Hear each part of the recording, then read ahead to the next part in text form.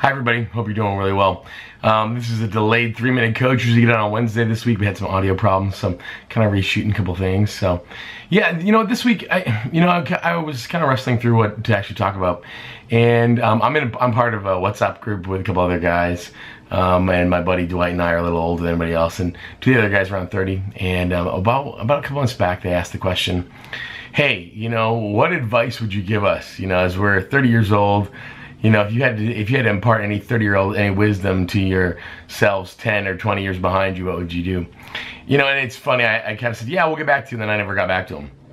And so one of the things I, I was thinking about today is that, you know, if I could give any advice to my 30 year old self, you know, I think what would it be? And you know, the thing that stands out to me the most is I would worry a whole lot less. You know, there's a whole piece of advice, like I think in different types of our life, is that we get so worried about things that we are not, and we get we worry about what it is we don't do well. And I think it's not just about being, hey, you know, kind of where we are in life, but I think when when I get asked about for coaches and entrepreneurs and things, we can sometimes assume that others who are being successful have so much more put together than we do, that they have all these other things, and and we worry about not having enough information or not enough resource or not enough time or or fill in the blank with whatever your not enough is honestly, if I could tell myself anything, it's hey, don't worry so much. The reality is you're gonna work it out. It's gonna be okay. I mean, I, honestly, if you've heard my story before, at 30, I was a train wreck. I had no idea what I was gonna do with my life. I just knew I was miserable at my HP job and I was moving on. You know, I think I spent a lot of years, even in, even as I took steps, even as I started this journey to really try to have an impact on the world, I really struggled. You know, and honestly, you know what? I still struggle now like to really be honest, there's still days when you struggle to go, man, am I still enough? Do I have what I need? I think if I had to offer up anything, you know, as a as an as a kind of a thing to think about this week, worry less. You know, quit assuming that other people have something you don't have and that's why they're starting.